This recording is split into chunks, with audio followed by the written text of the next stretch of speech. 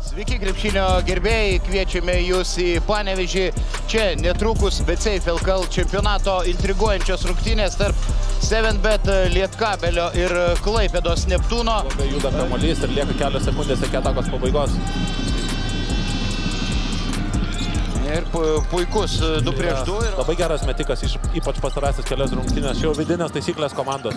Čia Murauskas ūgio pranašumą. išnaudoja. Likus penkiom sekundėm iki atakos pabaigos. O, koks tritaškis. Ten gal Griciūnų teikiama medicininė pagalba, atrodo, pirštas šiek tiek susižeidė. Žiūrėkit, kaip vėl gerai kamuolis nusimetinėja Gustyšo trolę. Taip, ir žaidimą. Penkios sekundės iki atakos pabaigos buvo ieškomas Girdžiūnas. Čia gerai pamuša kamuolį Maldūnas ir dar kartą daro tą sunku juodą darbą panevežėtis. Tuos.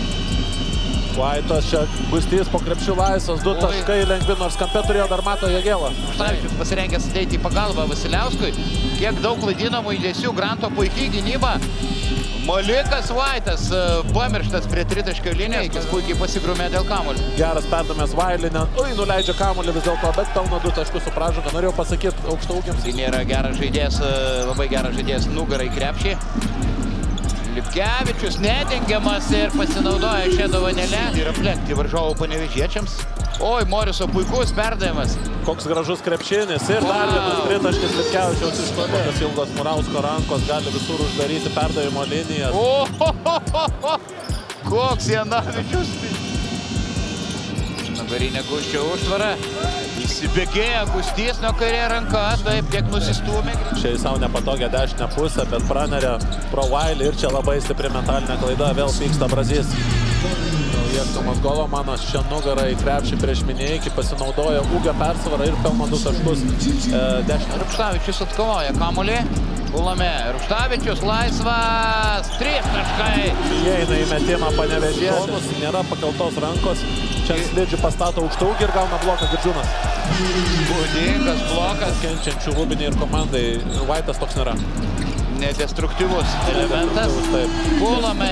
Tritaškis. Gailius. Na, gal pagaliau atsidarys Davidas tik dabar, tik dabar pralaužė ledus. Kūną bandys nubausti iš toli Gailius. O, ho, ho! Davidas Gailius beveik iš Rūbinės. Žaidžia su kantrybė, dabar Lietkablis iš to dividendai. Beno pats galėjo mesti stogą, gauna Maldūnas e, nuo Vailį. O, Taip. koks keuras metimas. Vėl Morisas. Varenkasi prasiveržimą. Kaip lengvai apeina gailių ir niekas Davidui nepaėmė. 5 sekundės lieka, galbūt ir nebetakuos. Tai aikštė šeimininkai. Garbingo žaidimo principai. Galutinis rezultatas 80-73.